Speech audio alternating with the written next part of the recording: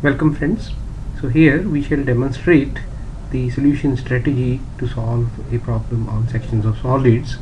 So basically here we are given the true shape of the section so uh, in the statement and we have to define the location of the section plane and after that we have to complete the sectional uh, view of the solid. So as we read the statement so here the diameter of the cone is given to us that is 200 mm so that means its top view is possible. So we have uh, shown the top view of the cone as a circle so of uh, 200 mm diameter. So already uh, put in place. Now here further what is mentioned is it is cut by an AIP such that uh, a true shape of the cut section is an equilateral triangle of 175 mm side. Now the triangle from a cone can be obtained by a section plane when it passes through the apex. So it has to pass through the apex and some inclination you give you will get the or, or, or any plane passing through the apex of the cone will give you a triangle but the uh, inclination of this. So we will make different shapes of the triangle. So in some of the cones the equilateral triangle may be possible. In some others it may not be possible. Now if the equilateral triangle is to be possible so we'll have to design the height of the cone such that uh, the the given thing is possible so we have to basically arrive at the height of the cone in this problem to meet the requirement here. So as you know we need the triangle of 175 mm so let us make that uh, true shape first. So so that will help us in identifying the location of the section plane for the cone so we start with locating the true shape. So which is the equilateral triangle. So we use polygon command with three sides. So edge method and the edge length can be equal to uh, 175 mm or 1.75 AutoCAD units. This way we it now I'll what I'll do I'll uh, move this true shape so as to place it symmetrically. So what I do I'll move this thing Uh, towards the center so that it is symmetrically distributed across the center. Now if I want to get this triangle I have to cut the base according to this height. So what I will do I'll draw a line passing through this and horizontal. It should cut like this. When where it, this line cuts so I will draw another line like this. Now the cut section or the cutting section should cut the cone at this diameter. Then only because it was otherwise 200 mm diameter. So if the cut section cuts the cone base at this location then you will get the required dimension of the cut section. So at least one dimension the base of the triangle will be possible. The other side should pass through uh, or, or, or uh, the cutting plane should also pass through the cone. So it will be cut by an AIP which will be visible in front view. So but so one thing is uh, it has to pass also pass through this point. Now uh, uh, what we can do so from here so we can locate the base of the cone in the front view at least. So base of the cone we will locate somewhere so on placed on the ground. And its height is not known but definitely its apex will lie at the middle. So apex will lie on this line I, but we don't know where exactly.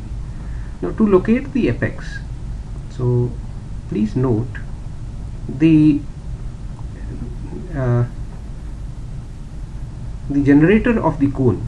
So this is this one also is one of the generator of the cone. So, and because it will be the cut section the cut section uh, passing through the apex and other side of the cut section when it will cut the base. So definitely so the cut section the true shape of the cut section will include the true length of the generator. The true length of the generator that means is equal to 175 so what we can do we can draw a line from this point. Not not the line rather the arc with the center here. So if I take the length of the line or length of uh, the radius of the arc equal to 1.75 then I draw the arc. So I know the generator so from this point to this point but it was to be the line. So line from this point to the intersection here so this gives me the apex of the cone. So I locate it like this. So from this point itself from this intersection I can join it on the other side also. In this way the cone can be made. So this one I don't need now. Now about the location of the section plane so line I will draw from this end and uh, the vertical has to be drawn like this. So I know the section plane has to pass through the apex so I can mark one end of the section plane this side. I also know that section plane has to cut the base uh, so, uh, at this location. I'll get it that way also. Then I can remove it or uh, I may choose to retain the other part. Uh, so this is the location of the cut section. You can show it with green color like this. So the other uh, uh, way of locating the section plane so mm, that is keeping getting the height here. Okay so if you know you can even measure dim using dim command even. So this is to dim horizontal from this point to the end here.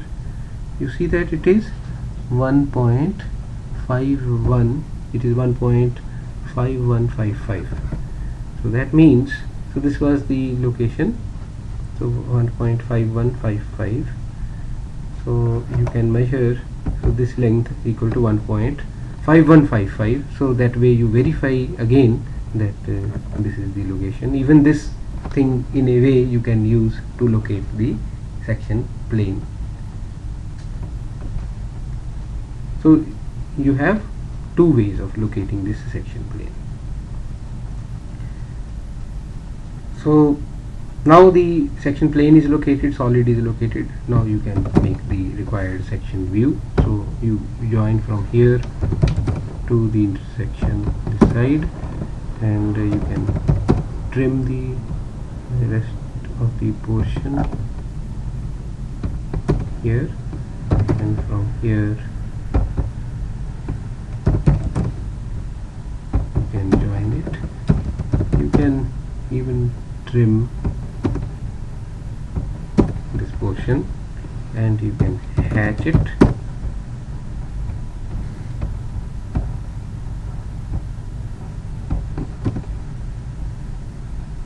Hatch this also.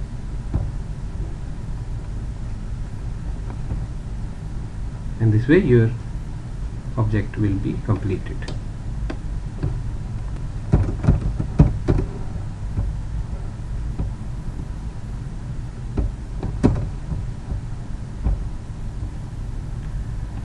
so this is complete